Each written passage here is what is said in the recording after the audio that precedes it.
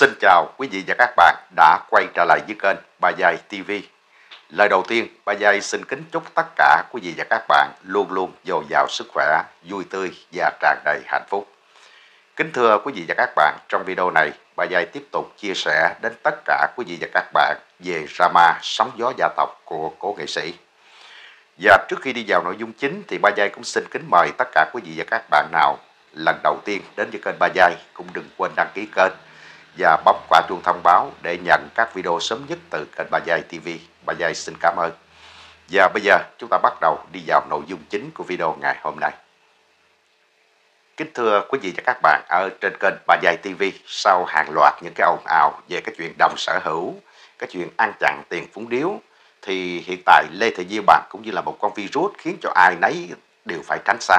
Nghe tới thôi thì phải nói là đã sợ hãi rồi quý vị chứ đừng nói tới cái chuyện là tiếp xúc với cô ta những nghệ sĩ thời gian qua tuy không nhiều người lên tiếng để mà giúp con gái của nghệ sĩ nhưng mà cũng chẳng ai lên tiếng để mà binh vực Lê Thị Di Bằng cả. Và mới đây vừa có thêm hai vị nghệ sĩ mới đã là lên tiếng à, dạch rõ ranh giới với Lê Thị Di Bằng, tỏ ra sợ Lê Thị Di Bằng như là sợ giặc cướp nước ngày xưa vậy quý vị. Lê Thị Di Bằng cũng như là một mầm móng gây ra chiến tranh cho nên ai nhìn thấy cũng phải là dồn nha tranh đứng gần cô ta mà lỡ có cái chuyện gì mà xảy ra đó thì lập tức có nguy cơ là bị ăn di bàn liền. Một cái cô ca sĩ nhưng mà sở trường lại ăn già, còn sở đoạn là kiên tùng, ai mà dám chơi chung phải không quý vị? Và cụ thể là cái sự ghê sợ này nó như thế nào? Kính thưa quý vị và các bạn, danh tính hai vị nghệ sĩ vừa mới lên tiếng có liên quan đến cái chuyện là Lê Thị Di Bằng.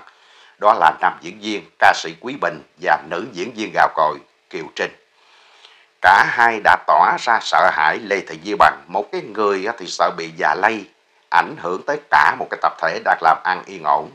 Một người thì tỏ ra là sợ hãi cái lòng già hôi tanh của Lê Thị Di Bằng. Cụ thể như thế nào? Đối với Quý Bình đó thì anh đang vô cùng phẫn nộ vì Lê Thị Di Bằng là đứa cháu của cố nghệ sĩ, danh tiếng dơ bẩn của Lê Thị Di Bằng nó đã vô tình khiến cho sân khấu Hoàng Thái Thanh gặp rắc rối. Sự cố đến từ một cái việc hiểu lầm không đáng có ở các tên của hai sân khấu. Sân khấu hỗ trợ tổ chức lễ dỗ tổ cho bà Bảy Khọt Xèo là sân khấu Thái Hoàng. Sân khấu này lúc thì nói gà, lúc thì nói dịch, lúc đầu thì nói là lỡ ký hợp đồng rồi. Cho nên là bất khả kháng phải là tổ chức. Nhưng mà cuối cùng đó thì đã lộ rõ cái sự là bên dân kênh kênh ra mặt. Thế nên ban quản lý sân khấu Thái Hoàng đã ăn ngay cái sự chỉ trích từ đại bộ phận khán giả rằng đã tiếp tay cho những cái người nghệ sĩ bẩn lan truyền cái sự kệt cộm như thế thì không đúng với cái tinh thần của một sân khấu nghệ thuật. Và vô tình làn sóng chỉ trích này à, bất ngờ ập sang đến là sân khấu Hoàng Thái Thanh khiến cho Quý Bình đã vô cùng phẫn nộ. Cho nên là anh đã lên tiếng à, dạch rõ ranh giới giữa Lê Thị Diêu Bằng khẳng định mạnh mẽ là vô cùng đanh thép rằng chưa bao giờ tổ chức show diễn riêng hoặc là cũng như là chưa bao giờ cộng tác với à, Lê Thị Diêu Bằng này. Bên cạnh đó, Quý Bình còn nêu rõ cái tầm nhìn và giá trị mà sân khấu Hoàng Thái Thành luôn hướng đến. Đó là mang đến những cái tác phẩm nghệ thuật tử tế, nhân dân và chỉnh chu, truyền cảm hứng sưởi ấm tâm hồn, con người và xã hội. Kính thưa quý vị và các bạn, sân khấu Hoàng Thái Thanh và sân khấu Thái Hoàng là hai cái sân khấu hoàn toàn khác nhau. Chỉ vì có cái từ Hoàng và từ Thái cho nên là vô tình đã khiến cho một à, số khán giả bị hiểu lầm dẫn đến là cái sự nông nổi này.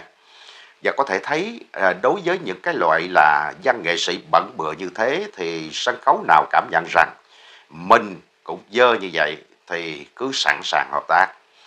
Chứ còn những cái sân khấu có tiếng tâm, có tầm thì sẽ không bao giờ muốn làm việc chung đâu. Đụng tới Lê Thị Di Bằng giờ này cứ như là đụng vào virus thầy ma. Nó cứ cắn bậy một cái là phải nói là banh ta lòng mọi thứ. Tiếp theo sau Quý Bình là biến cố của nữ diễn viên gạo cội Kiều Trinh. Hôm qua đứng trước lời dạy dỗ của nhà báo Song Minh à, chấn chỉnh lại văn hóa cho Lê Thị Di Bằng thì nữ diễn viên đã để lại một cái lời bình luận kèm theo một cái câu chuyện vô cùng chấn động, lột tả được một cái góc tối ở tại đám tang của cố nghệ sĩ khi xưa. Diễn viên Kiều Trinh đã để lại một cái lời bình luận với nhà báo Song Minh như sau. Ngày đầu đến giếng và ngồi chia buồn ở tại đám tang thì bạn ấy chỉ về con gái của cố nghệ sĩ và kể với chị là con gái của cố nghệ sĩ là con nuôi. Thật sự lúc đó là chị không chú ý lắm về cái vấn đề con nuôi hay là con ruột hay là cháu. Vì mục đích chính của chị là đi giếng anh trước khi về quê thôi. Rồi những cái ngày sau này, các câu chuyện đùng đùng xảy ra đến tận bây giờ. Bất cứ ai người ngoài nhìn vô thì đều thấy rõ mục đích. Càng nghe càng biết càng thấy sợ những cái sự tính toán. Cuối lời bình luận, nữ diễn viên đã gửi tặng cho Lê Thị Di bằng một cái câu triết lý xưa, nghe mà phải nói là thốn cái gì ạ. Đúng là ông bà ta nói đâu có sai. Cái lưỡi khắp xương, trăm đường lạc leo. Cái câu nói này đã thể hiện rõ cái sự lương lẹo của Lê Thị Di Bằng. Được biết là Kiều Trinh và Lê Thị Di Bằng cũng chẳng thân thiết gì, chỉ từng quay chung một lần mà thôi. Đến giếng đám tang là vì cố nghệ sĩ. Giếng ông Hoàng cải lương hầu quán, chứ ai mà quan tâm đến cái chuyện là Lê Thị Di Bằng đâu. Mà gặp ai thì nó cũng tự giới thiệu tôi là cháu ruột của cậu tôi, còn cái con nhỏ kia kìa, nó là con nuôi của cậu tôi đó. Nhớ mặt nó nha, nó là con nuôi mà nó đòi đồng sở hữu với cháu ruột như tôi đó. Phải nói là thương Lê Thị Diêu Bằng thành. Lê Thị Diêu Bằng lúc nào cũng đặt cậu lên đầu vì cậu có tiền là có tiếng. Dựa vào cậu Năm là cả đời là hưởng danh lợi tiếng thơm. Thế nên là Lê Thị Diêu Bằng đã tạo cho mình một cái vẻ bề ngoài là một cái người duy nhất thân thiết với cậu. Cái người đã tận lực lo lắng tang lễ cho cậu để mà mai này nhà của cậu thành nhà của cháu, đất của cậu là của mẹ cháu, tiền phúng điếu cũng là tiền của mẹ con cháu. phải nói đúng là một đứa cháu phải nói là hết thuốc chữa. Tiền tỳ mà cứ nghĩ là mình con của vua, con vua là con gái của cố nghệ sĩ đó. Ngày xưa tại đám tang của ông Hoàng, con tiền tỳ này đã cố công phỉ bán công chúa cho cố vô. Giờ thì bị các nghệ sĩ lên tiếng dạp trần mồi góc tối. Thiết nghĩ không riêng gì diễn viên Kiều Trinh đâu, còn rất nhiều nhiều nghệ sĩ hơn nữa. Nếu mà đồng loạt cùng nhau lên tiếng đó thì Lê Thị Di Bằng phải nói là phải tự mua quan tài rồi nhảy vào trong đó ngủ để mà tránh né làn sóng chỉ trích mới này quý gì ạ. À? Lời bình luận vừa rồi của diễn viên Kiều Trinh vô cùng có giá trị đối với con gái của cố nghệ sĩ và công lý, nhưng mà lại vô tình trở thành cái gai ở trong mắt của Lê Thị Di Bằng. Thế là ve con, ve cha, ve chú, ve dì, ve cô ập vào công kích diễn viên Kiều Trinh, ảnh hưởng trực tiếp đến đời sống tinh thần của nữ diễn viên ít nhiều. Riết thì phải nói là hết thuốc chữa rồi quý vị, người ta nói lên sự thật mà cũng bị công kích. Lê Thị Di Bằng phải là nhanh nhanh bị chế tài, cái này phải bắt nhốt lại chứ để ngoài xã hội như vậy thì phải nói là nguy hại quá trời quá đất. Ai ai cũng lo sợ, muốn lên tiếng vì công lý công bằng cũng không thể yên ổn để bà sống với những cái chú ve này, quý vị. Thông qua sự việc này có thể thấy rằng vốn dĩ ban đầu các nghệ sĩ đã không muốn lên tiếng vì thật ra nghệ sĩ chân chính thì người ta cũng ngại ồn ào lắm. Bước vào một cái drama nào đó mà không rút chân ra được thì lại khổ cái thân. Nhưng mà vì càng ngày Lê Thị Di Bằng càng làm quá lên cho nên là ai cũng không thể nào ngồi yên. Như nam diễn viên Quý Bình thì sợ tai bay dạ gió còn cái tình huống của nữ diễn viên gạo cội Kiều Trinh thì lại vì quá ghê sợ tâm tính của Lê Thị Di Bằng.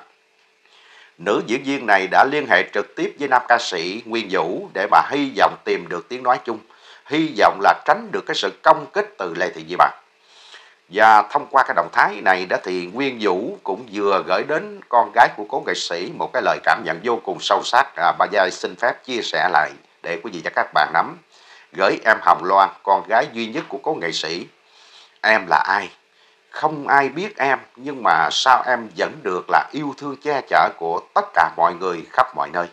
Vì ai cũng có cái suy nghĩ và trái tim bách bảo cái điều đúng và lẽ phải. Từ bé em học dốt như những gì mà người thân của em đã tố thì đó cũng không phải là hoàn toàn lỗi cho em. Em không có tình thương chăm sóc của mẹ mà ba dù rất là thương nhưng mà vì quá bận, phải là hy sinh tất cả vì nghệ thuật, vì công chúng để lo cho gia đình, anh em, thậm chí là không màng đến hạnh phúc cá nhân, cho nên không thể chăm sóc em thật nhiều, và lại gà trống nuôi con nữa, cho nên khó mà chu toàn. Vậy trách nhiệm của những người lớn khác cũng như cô chú của em thì sao? sao lại nỡ để em học dốt mà không kèm cặp uống nắng, thương yêu cho em giỏi hơn, mà để cho em là khờ khạo cho đến giây phút này. Xong mấy chục năm mới ngạc nhiên khi mà thấy em đã dám phản kháng lại những cái áp bức tinh thần mà em đã chịu biết bao lâu nay. Rồi còn ngồi hả hê cười cợt họ tố em học dốt. Đừng nghĩ em à, có người, người đứng sau lưng âm mưu gì cả. Gia tài của ba thì em được hưởng thế thôi vì em là con hợp pháp. Chẳng qua là vì em thân cô thế cô đã lâu rồi, cho nên là chưa bao giờ dám lên tiếng, cho nên là chịu nhiều thiệt thòi. Cứ tưởng tượng rằng một mình em hay là cả ba người là bông Mỹ và bé Loan sẽ ra sao? Và liệu có chống lại được những cái nanh vuốt của bọn kền kền hay là không? Nếu như không có cả cộng đồng mạng và những các anh chị em cũng như Vũ Luân Bình Tinh, Ni Phương Lê giúp đỡ và còn rất rất nhiều anh chị em khác đứng lên vì bức xúc. Khi anh dắt em vào hậu trường đài truyền hình, thấy em được là các nghệ sĩ lẫn các thí sinh chụp hình quan tâm hỏi han là đủ biết là họ yêu thương em như thế nào cho nên luôn hãy sống xứng đáng với những yêu thương tin tưởng mà mọi người đã trao chăm sóc tốt cho gia đình con cái người thân bên cạnh và nếu có cơ hội hãy chia sẻ những cái yêu thương đó đến mảnh đời bất hạnh và khó khăn khác nhé ba lo. Và kết thúc quý vị và các bạn và bây giờ ba giai xin phép khép lại à, video này. À, cảm ơn tất cả quý vị và các bạn à, đã chú ý lắng nghe. Xin chào và hẹn gặp lại quý vị và các bạn trong những video tiếp theo.